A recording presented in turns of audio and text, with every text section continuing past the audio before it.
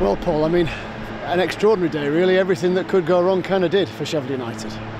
Yeah, not one, yeah. But listen, we can have no complaints in terms of performance. Coventry were better than us.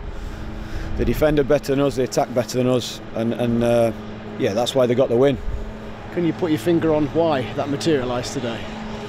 No, if you're off it slightly in the Championship, you know you can come unstuck. And Coventry were excellent today. But we're prepared for an excellent Coventry because I think the Poles teams a lot of problems even when they don't get the results with how they play. Put the, put the ball forward early, make you defend it, and then they've got bright players in around your box. Um, but having said that, the nature of the goals we conceded were terrible. Um, so regardless of how well someone's played, the nature of the goals we conceded were really bad. And considering Sheffield United have looked as a unit so solid defensively, is it fair to say that an element of, well, certainly worry, if not panic, set in? In the game? Uh, listen, it was first half, nothing in it. I thought it was end to end, and I don't mind games when we're when it is open because I back our players. Um, but after the second goal went in, another sloppy goal from our part, it just appeared that they did have more threat in and around the box when they went forward. Um, and we couldn't muster enough threat at the other end. So from that point on, it became really difficult. And from an attacking perspective, things just didn't happen, did they today? Flicks that didn't come off. Yeah, not much, not much pressure was sustained. No, we we weren't good enough. We, the boys know that. We know that. Um, they defended better than we did. They attacked better than we did, um, and that's why they won the game. Mad, isn't it? I mean, outstanding the other day. To come to this, it's almost unpredictable. You couldn't have thought today was going to materialise as it did. You, you, know, you can sometimes because of you know after the Lord May show and things like that. I did speak about it. Um, but I thought we started with energy, we matched their energy, and that's why it was a an end-to-end game. Um, as I said, too many, too many things didn't come off for us with the ball. You know, loss of the possession, like you said, any quick play or tricks, flicks didn't come off. Uh, and then the other end we conceded sloppy goals from from our point of view. So, yeah, as, as well as like I say, Coventry we're pleased with how they played. Um, we're really disappointed with, with what we did, and I, and I think it's it's evident what we did wrong.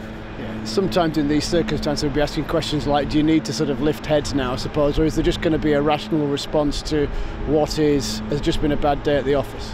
Yeah the rational response. We speak honest and see because you have to it's got to be a wake-up call. We have to see and learn from it. We uh, like I said the goals we concede I've not seen my time or me working with the players last year or this um, us defend like that um, so yeah you, we'll have to use it. You've got to use every game. But likewise, then put it to bed and the folks will be on Blackpool. We've the good thing is in this league you have a game every every few days, and we've got a, an important one now away at, at Blackpool on Wednesday night.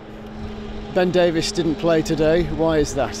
Yeah, picked up an injury. Obviously, Flecky picked up an injury. It's, that, uh, that's becoming a problem, you know, and that, that's probably what I'm losing sleep over more than anything else. Um, yeah, they're the issues. We need players back. We want the players back. Listen, you, you look at our bench today, it's full of youngsters, but then you see when you go on, it's a big step up. Um, and we want, we want his players back, definitely. Do you look at that sort of in detail between those that are impact injuries and not impact injuries and whether anything the players could be doing differently maybe to not get the volume of injuries that you've got? Yeah, the, the, well, the big one for me, we've got uh, our training pitch has been terrible this year. We we came back after Fulham, and uh, it, we had two days of rain, and we've not been on it some days. It's just been a bog, so we have to address that in the summer.